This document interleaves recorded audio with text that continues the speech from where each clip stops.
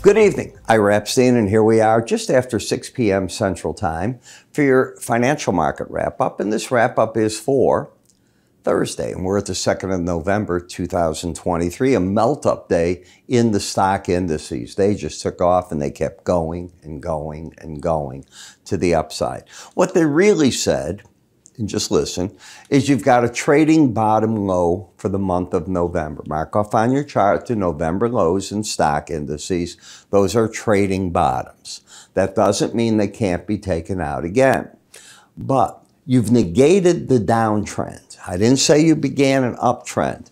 You, with this rally, threw yourself out of the bear market and there was short covering, people saying, I've been waiting for that, I want to jump in. They were jumping in one way or the other. There's lots of news going on. In the House of Representatives, uh, Speaker Johnson got his uh, bill passed, uh, one that the, the president has threatened to veto immediately, where he wants to throw out tax money. I applaud him on that for the IRS auditors uh, and give that money to the state of Israel in the way of $14 billion. It's not going to pass. In the Senate, they'll look at it. They're trying to come up with their own bill to give money to Israel, Ukraine, and the borders. Um, and they want to do it in a different way. And they also want to eliminate certain things. I think they'd get along with the House to throw out the tax money. In other words, if you remember, the Biden administration got $80 billion for the IRS to revamp themselves, go after people for audits and so on. And I think what uh, it just sits on everybody in a in a what election year coming up. Buy votes. You know what I'm saying. That that's how the world works. The president has his hands full. Uh, five mayors, ours from Chicago, went to Washington, hat in hand. We need money. We can't handle the migrants. It's costing us $40 million a month. In addition, the robberies in Chicago are so bad, and they are, and uh, they're smashing in windows with cars. Cars have become the new projectiles, and they just keep ramming windows until they can smash and grab everything that they want. Carjacking seems to be down. This is now the new sport that they're doing. And police, well, it's a joke. You know, you get to these liberal cities, which we are, and I saw today one Venezuelan that came over the border has been arrested four times since March. And they keep letting it out on his own recognizance. The police have seen him steal things and they, they go to court and nah. The judge says, we'll let him back. He'll, he'll be a good boy. He's 19 years old. You're telling me that's going to work. Okay, I'm, I'm just telling you, I'm reading headlines and cracking up because I know what it is. Uh, the systems don't work anymore, folks. We have to go back to the right, get off center, get off left, go back to the slight right, and then bring it back center. This doesn't work. But five different mayors going because they can't run their cities. They have no money. So they each one wanted about a billion and a half to five billion dollars to be able to get everything going. And they got what they wanted. The president took 345 million, divided it amongst 50 cities, added some new ones to get to there, and that's what they're going to get. You got to be, uh, you have to laugh at it, okay? This president is out of contact with reality. He has no idea what's going on. All right. So we take a look at the E-mini S&P and how the market came down and we're getting a bounce in it. That's where you're at. Nothing goes straight down. But does that look bullish to you? So I realize you're all fired up, everybody. Does that look bullish to you? If it does, I want to take your charting course, okay? What we had here is a market that had stalled out over the 4,400 level, went down into that 4,100 level, and it has come back again. I get it. I get what it did. We had formed a trading bottom here. When that was taken out, we stepped to a new ladder. So now what the market is doing is it's coming back to prove to me that this market has really some leg to it. Take out these highs and I'll be a bit more impressed. Right now, it is a bear market rally, but it is one that did something fairly important. And understand how these things work. If you take a look, you had one leg, you stalled a little right here, and you made another one. Then on the way back up, and I'll do this with the swing lines if it's okay. I'll come right over with the same way because I, I think it reads so much better, excuse me, with the swing line. You get to see it. Lower highs, got it, three of them. Lower lows. If you take out this number where I've got that red arrow pointing down, you've broken another leg to here. You did the same thing here. Lower highs, lower lows. When you took out this leg, you got that rally. Follow me.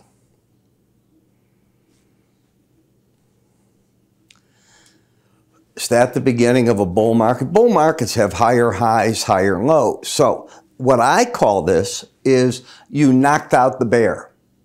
And now the market has to decide, is it going to be bullish or bearish? Where did it go to? Let's you and I go back to yesterday. Not today, yesterday. Here we are. And here's Ira yesterday. My hair was probably a little darker, you know, you know the way I age overnight. And we're at 42.93, and is what I would have said. There's your resistance point. Maybe you get maybe you get to the 200-day average at 43.25. Go look at the video. I, I bet that I said something along that line. If you can get through this high.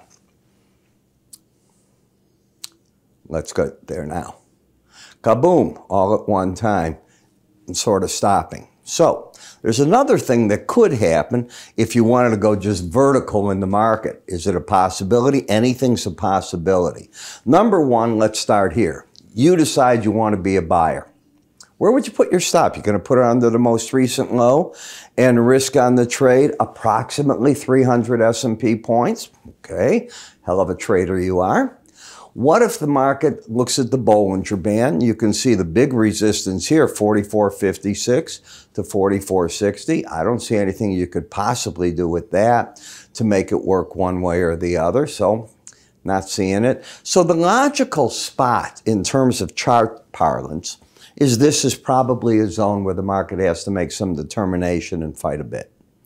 When you put momentum on it, momentum up, you were oversold, you're no longer there market fighting at a resistance point, and I don't see a trend. I see the end of a down leg. Now, there's something else. You can take this chart here and say, we have a trade bottom in place.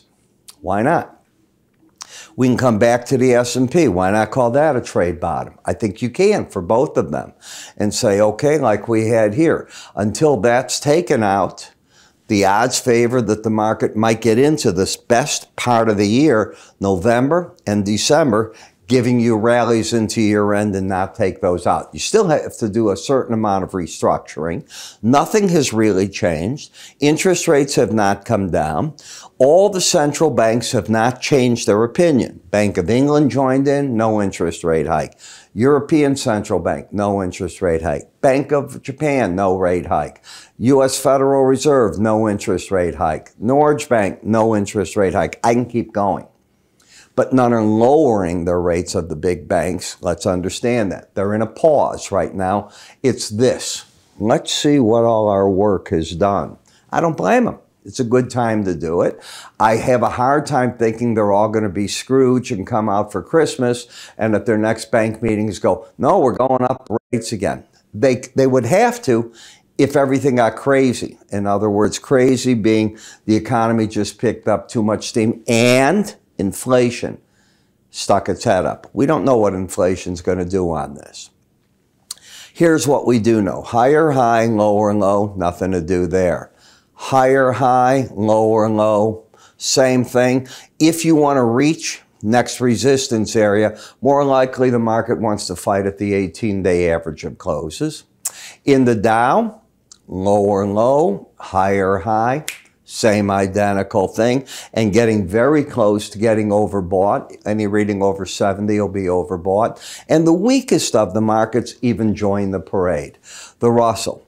And it got back over the 18 day average. And it too is going to, I, miss putting the arrow there. You'll have an arrow up there, higher, high, lower, low, and you have to remove that one. You lost the reading and you made it already to the objective of the 18 day average. Could it go higher? Of course it could. Should it? No.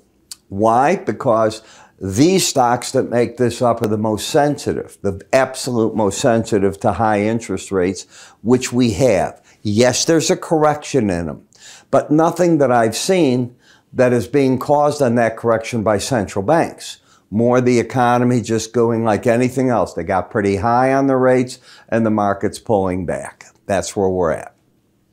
In the 10 year note, lower and low. And with today's action, let me actually walk you back to yesterday because that's where the, everything really set itself up. You watch this. As of yesterday, you had a lower and low, higher high. You left the downtrend. If you keep going, the Bollinger Band's likely target, and the battleground could always end up the 18 day average of closes. And look what you did. You tell me you didn't make an attempt at that. That's what this is about. Five year note, the identical thing identical thing. No trend to speak of right now, but trying to get up there.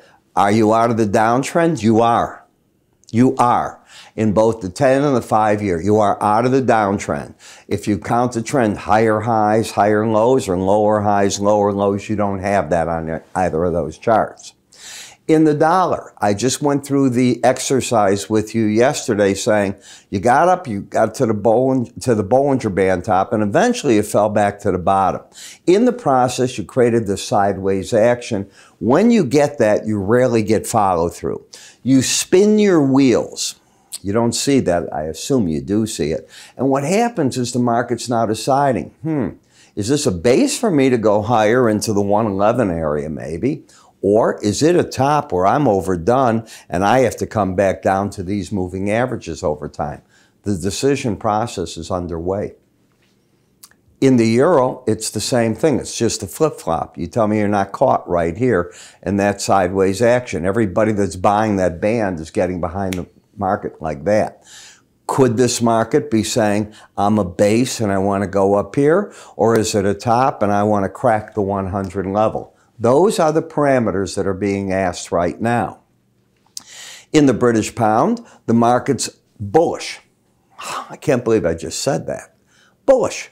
Until you get back under the low here of 120.98, I think the pros are buying now at 121.74. But, but, what, where are you? What kind of pattern is this? This is that pattern that chews you up and I mean chews you up. I run from these patterns. This is sideways action, making a decision, what is the next move? It is typically the pattern where your equity does this. Because you're looking for it to continue, it doesn't. You look for it to continue down, it doesn't. It just keeps whipping back and forth. I can't run for the door fast enough when I see that pattern. In MBTX, which is Bitcoin, I, I you know, I, I, see this market as bullish. Lose the red line under 79, I, I wouldn't want you long. But I think the pros are buying it right here, and I think they're all waiting for the event being that the SEC approves a series of ETFs that are based on spot. Will that carry the market? Probably. All right. It's already taken the market from here. This was base building. When you come back to it, what did I just give you an exercise in in the currencies? Dollar, euro. Did I not say this type of action, you get spun around? Eventually, it breaks out one way or the other. In this case, it was to the upside. Then we get to the Brent WTI oil. Well, you're stuck between the 460s and 420s. That means it's everything status quo. It hasn't changed. Now, we're still in a bearish pattern, not bullish. Do you go home this weekend long because you think something worse is going to happen in the Middle East? Or do you say, I've already seen since October 7th the invasion. I don't think anything new's happening. Why am I going to load up on positions when nothing's going on other than Israel, the Palestinian people, and Hamas fighting? That's where you're at. And that's what I think's going on now. So Prior to this, every Friday, I would think that the market sees a lot of buying in energy and gold. Not convinced it's there anymore. Now I think the market's more towards one of the fundamentals of the market. Lower high, lower and low, still bearish with resistance at 87.71. You have to got that high to break that pattern. It's too oversold for me. If you were sitting next to me and said, what, what do we do? I'd go, nah, it's too oversold. Why deploy money when you have an oversold market? Any reading under 30 is oversold. You have to be both numbers under 20 to embed. I don't like that. I have the same identical problem in the, in the um, December crude. I'm looking at support here. Now down to 80.38. Come on, that's an interesting number. Why? Okay. Let's go back a day. You got down today to 80.22. 80.24 is the green line, the 100 day average. You want to sell a 100 day average thinking it's just going to go crashing through it? It can, but it's rare. That thing's been there. It's waiting as a support zone. And my guess is, my guess, many algorithms are built saying, first time you hit number like a 100 week, a 100 day, a 200 week, a 200 day moving average. I don't think we want to keep our position on. We want to lighten up, get out, whatever they write the program to do. That's what I believe goes on. Now in the heating oil, got lower and low, higher high. I'm seeing sideways action. Seasonally, this is a week. I, please listen, I know it gets cold out, but it's where the market typically weakens. Are we trending in any manner to trade it? No. Are we bearish? No. Are we bullish? No. I don't know what to do with that. In the gas market, I see lots of resistance. I told you as we were coming up, I thought you'd be fraught with resistance at the 18, the 100, 200 day. So far, I'm not wrong. So far, that's the case. Uh, today's energy storage, I was looking, they were looking for 80 billion cubic feet. They got 79. The market didn't even deal with it. So, what do you do in markets like this? How do you, how do you try to grab something and work with them? Well, after a big day like today, this is what I turn my attention to. I used to teach day trading. I've taught point and figure trading, so many different variations pivot points are just super cool. And it was taught to me by one of the, I think the best that, that did it. I can't mention his name, but uh, I think he was quite good. He used to manage money in, in my firm in the 80s and 90s. And we couldn't give him enough money. How's that? We couldn't give it. He, he got too big for the market. But this technique he was using, and then he taught it to us, and whoa, it was because he moved on to something else in time. He got bigger than the market is what actually happened. But what you're looking for is that center line. And from there, the market starts moving up and you have resistance points to sell into. That's your cover zone or points to buy into. But if you add momentum studies with it, it gives you another edge. So I created a video with it. And you already have these studies. Now, what you don't have is my version of the momentum. All right. You'll have your own, but mine is modified. And my people that use our charting software will get it. So when you get the course, and it's free to you, uh, eh, tell our brokers you want to uh, work with our charting software. If you haven't used it before, we'll give you a free trial to it. Follow the videos, see what it is, and then try to follow me in the morning in my morning subscriber video because I go through some of this stuff uh, from time to time, but primarily pivot points. I stay away from it. Here, here's how I use them. Let's assume I tell my clients, my paying clients for the private videos where I say buy here, sell there. And I'm looking at a number and I go, darn, it may not hit there. What's, I go, what's the pivot?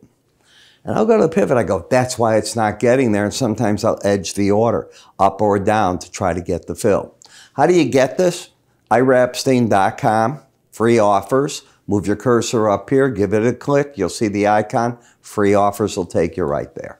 I'm Ira. You have a good day. I'll talk to you in the morning.